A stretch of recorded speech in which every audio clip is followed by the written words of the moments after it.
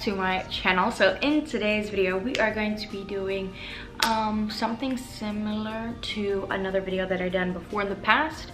And it's all about my my little crisis that i'm going through right now. I am really excited though to be recording this video because i'm having a crisis and I thought it was important to share that just in case you're having a crisis as well. But if you're new here, please subscribe. I post lifestyle content and I am just really excited to have you here and I would love you to subscribe because I have a new video every single Monday. So let's talk about this little crisis that I had uh, yesterday or the day before. I spend way too much time on my phone on social media and it is very toxic okay? And especially in quarantine i feel like my consumption of social media has been astronomical if we're being real here. I got my screen time for last week and it was like eight and a half hours every single day spending on my phone. Like what? Like that is unacceptable. So what i did in the past is I set app limits for social medias that take up all my time. TikTok, Instagram, and YouTube. I would probably say it's in order of TikTok, then YouTube, and then Instagram. But I only say TikTok first because once you get on TikTok, you really do spend far too much time on TikTok. So I am really determined to cut that out. So what I did is usually I set the app limits on my phone you know, uh, I'll show you a screen recording. And you set the app limits on your phone. And what you do is it'll stop you, even though I feel like it's definitely off, um, it'll stop you from constantly staying on the app. So it's called app limits in the settings feature and these are my app limits that I officially changed to. So I realized before in the past I was saying that I wasn't going to be on the apps for a long time and I said app limits. But I set like really high app limits, like my TikTok for the day was two and a half hours. Like that's unacceptable, that's far too long. So I went ahead and turned that down to 30 minutes and that's like still a lot, but I still feel like, you know, you wanna get on TikTok, you know, if it's a couple of minutes a couple times a day that's cool. But just to be spending like two and a half hours that's not okay. And the thing is when i set those app limits it will give you an option to remind you in one minute remind you in 15 and ignore for the day. Do you know how many days i ignored for the day and i spent hours on there? And you know what's crazy? I forgot my app limit was two and a half hours. And the other day it asked me you know if i wanted to i think this was saturday if I wanted to keep going, you know, ignore for the day. And I said yes. And then I realized yesterday when I had my epiphany that I was on there for two and a half hours straight and you don't even realize it and that's such a time suck. So I set some new app limits. So I did that for TikTok, 30 minutes. For Instagram, one hour and because I like to scroll through Instagram and see like what the friends are doing and stuff like that. And then YouTube an hour and a half. So you know I'm trying to cut down my consumption so that I can you know create more content not just for YouTube um, for like work and everything like that. So I just feel like it's time to get it together. Um, and I feel also that this YouTube video is all over the place but I feel like that's how I'm feeling right now I also watched a video yesterday that was all about um, your anti-goal list. And I actually really appreciated it. It was from Michelle B. And I really love her content. She's like really inspiring, motivational, inspirational. And she really just gives me a boost that I need. And I really like her videos. So I usually like save her videos to a certain playlist about like how to get out of a rut or something like that. Um, I highly recommend checking out her channel but this video was all about anti-goal lists so a lot of times people focus on making goals lists and how they're going to achieve them. But what about making a list of things in five years of what you wouldn't want and then like making a new list counteracting you know how you're going to not have those anti-goals? So i did it in my notes on my phone and this is all the anti-goals and this is the goals list so i'm gonna go ahead and read them because i think they're important so you can get like um you know, an idea of what I'm talking about. So these are my anti-goals. So these are things that I really don't want to happen, but if I keep going the way I'm going, it's gonna happen, essentially. Having no real relationships, having debt, having no savings account, making no memories with my husband, feeling like I have no purpose, not using my skills in a meaningful way, feeling like I have no friends, having no clear direction in life, waste my days on social media, I know you can relate, constantly watching everyone on YouTube living their life and not living my own. Oh my gosh, I am so guilty of that. Not being able to remember what I've accomplished in the weeks, months, and years. I literally don't even remember what I did last week. Not giving my all to Jehovah. Waking up every morning lazy. Waking up every morning with no purpose. Waking up every morning in pain out of breath waking up every day not flexible, waking up every day not comfortable in my own body, always being self-conscious about my body and not feeling enough in my marriage. So, you know, these are some real deep things, okay? And I'm sharing this with you because I'm a real person and you are too. And I think it's really important to have this type of list and then make a new list. So this is a lot of things on this list. Let me count them for you. This is like 19 things, if I'm not mistaken, if I counted that correctly, on this list. And you know, a couple of them, you know, have like more meaning to them. But I created a goals list, a new goals list um, with 10 things on them and I'm going to tell you how I'm going to counteract those anti-goals. So the first one, cultivating meaningful relationships and friendships. I really need to do this. I have really struggled making friends and stuff ever since I got married because you want to spend a lot of time with your mate and that's just how I like to live life. But I think it's really important to have friends. This has really taught me that um, like meaningful relationships. Not like so many friends but like you know a little good count handful of people that you can like talk to text and stuff like that. So definitely i'm gonna try to make that more of an effort because you know i'm still young and i turn 22 tomorrow but you know i want to have friends as i get older you know in my marriage so the second thing is pay off all debt and develop three to six months savings. Um, this is really important, especially with this pandemic hitting. You know, we really learned how important savings is and how rainy days happen all the time. Um, actually, at the beginning of the pandemic, I didn't start my car for a week and my car battery literally died and it needed a lot of work. So for a couple months, I just sat there because it was like, well, there's no point in driving it anyway. But stuff like that happens so you need to be prepared for that. So i'm definitely going to make that more of an effort. Saying yes more to more memories with my husband. Sometimes i don't feel like doing things. I don't feel like going anywhere. I don't feel like eating a certain thing. But i'm going to try saying yes more because those are memories that you know i will be able to remember or the pictures later on in life. Um, especially when things clear up and we can travel more. Creating daily action plans and executing them. So I want to create action plans in the evening for the next day because I am so tired of not really having like exact things that I want to do goals wise and and what I need to accomplish in my days so if I do that the night before even if I'm tired um, or I can even start a list throughout the day and finish it at night for the next day but I find that really important to create a list of things to get done and these are things not like what I do on my list laundry, cleaning the kitchen, cleaning the floors. These are like actual steps that will get you to the goals that you really want. And I've noticed that I will make so many fillers on my list of things that don't even matter. Like they do matter, but like I want to keep that separate from a list of things that actually will, you know, give me to the goal that I really want in life. Like my list right now has like do my nails, do my toes, bake banana bread muffins, stuff like that. And like that throws me off and I honestly procrastinate so much. Like I'm procrastinating so much, even though I've done a lot this morning, still because I'm, I'm filling my time up with filler things and not things that will like make a real difference. Next thing is to set daily social media limits. So I already did that and I'm gonna stick to them because until I have a healthier relationship with social media because I scroll on social media and I, I compare myself, I, I look at other people and want what they have instead of being grateful for what I have.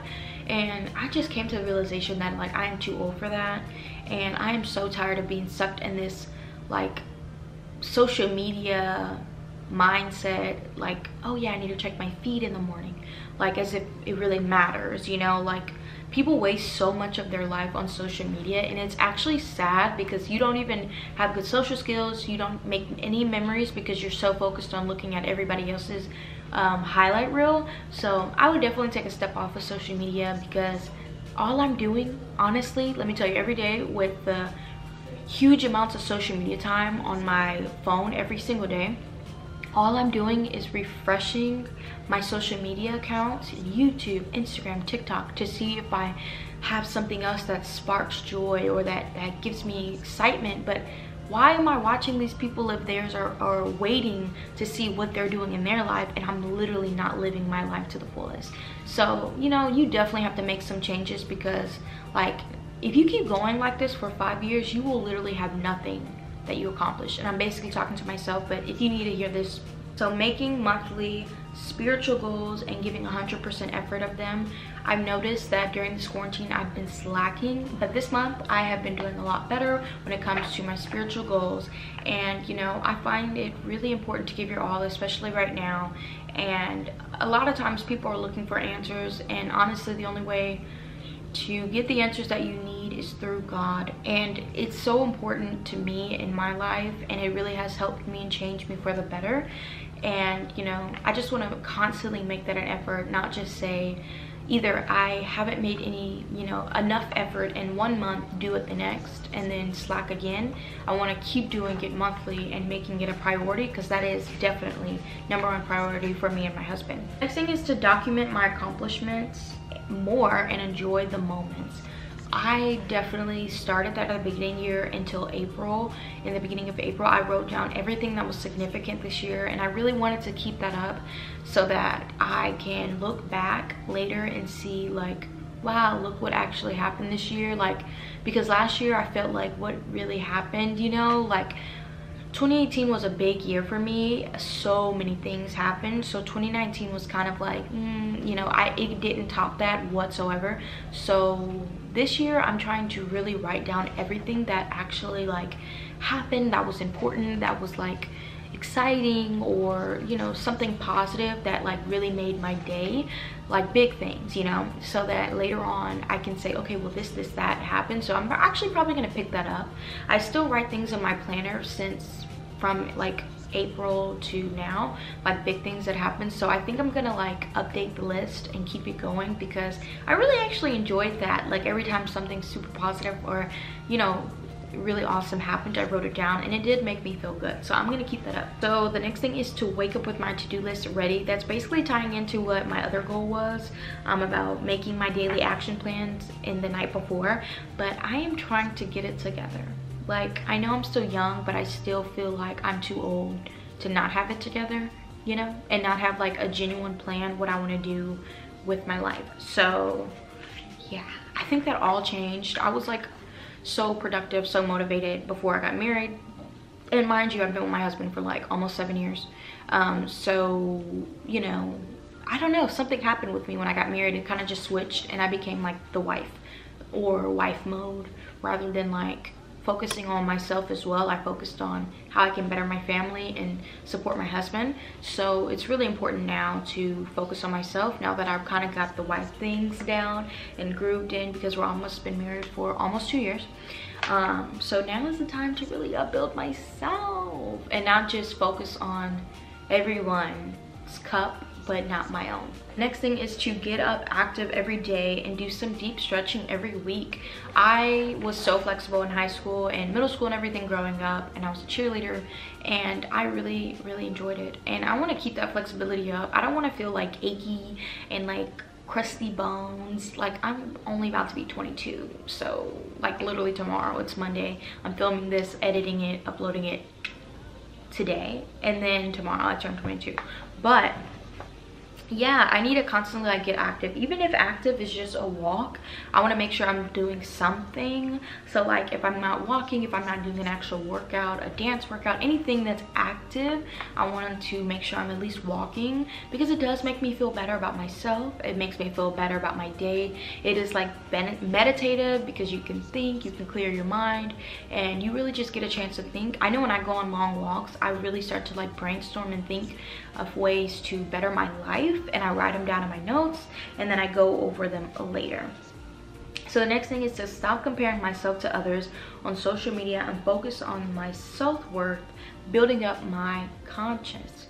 So that's my goals and that ties into setting the app limits and staying off social media as much as I can because it is so toxic you see everybody and you just feel very toxic. So those are my goals and i'm really excited because i just feel like it's time to get it together.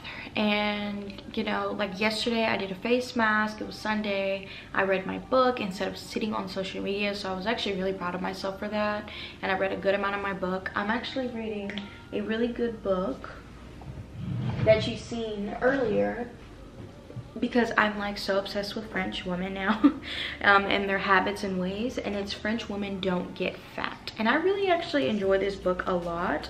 Um, it has really opened my mind up to just simple changes you can make in your daily life for like a healthier life.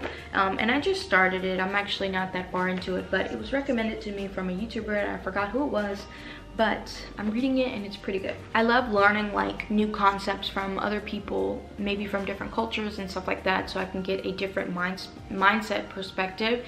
I do notice that I've really been liking like the French woman ways and they're like um, daily habits and stuff like that to stay healthy and I just really like it. So it's been cool to learn about that during this quarantine. Another thing that I learned from a YouTuber I forgot his name but his uh, YouTube name is Better Ideas and he just posted a video about consumption in quarantine and how it's been highly elevated because everybody is at home and you know it's basically you're consuming way too much social media and that's seeming easy to do so you're constantly doing it scrolling through your feeds basically like i was saying refreshing it going through each social media to see if anything is new and it's not and you're just wasting your time procrastinating.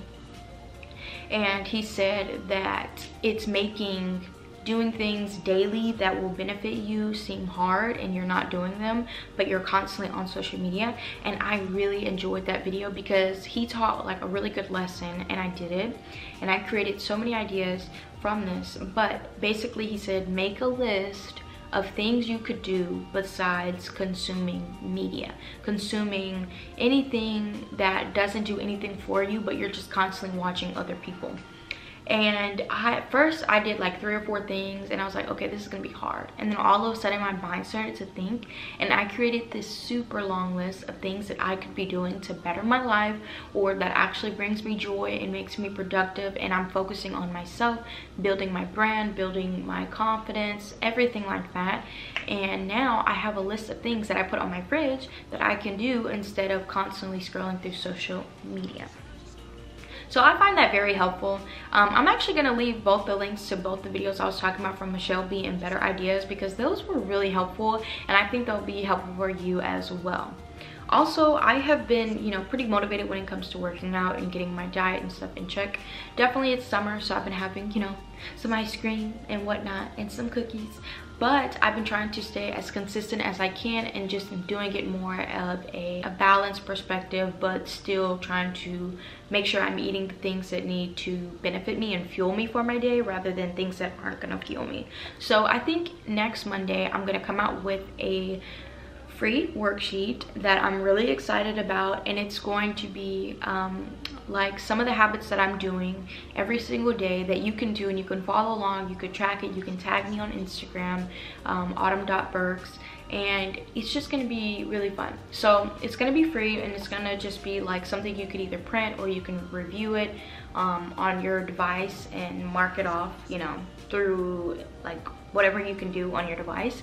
Um, but I think it'll be pretty cool. And I'm gonna go ahead and save it now so that I can actually create it and make the deadline. And I think it'll be really uh, exciting for us to do this together. But now I'm just like at the point where it's time to make some changes to be the best version of myself and I'm so tired of living my life through everybody else's meaning constantly watching so much media and not living my own life. So if this resonates with you, let me know. Leave this video a like and a comment if you feel the same way that social media is kind of becoming draining and it's like a life sucker essentially. And that's what the apps are meant to do. They want you to stay on their platforms as long as possible. So don't get me wrong, I love watching people on YouTube, but if I keep watching them on YouTube, I'm not even going to pay attention to my life like I have been and I'm just kind of going through the motions. Can't remember what happened last week, but I can remember what somebody posted on YouTube. You know what I'm saying? So, thank you so much for watching this video. My name is Autumn and I really hope you enjoyed it. I don't know why I just said my name is Autumn, of course. I think you would realize that. um, but please give this video a like and don't forget to subscribe. I really hope this video resonated with you. I was just keeping it real because I need to get it together and you probably do too. I know in quarantine we all been on social media a little bit too much. So set some app limits and just kind of figure out what you want to do and do it, you know? Thank you.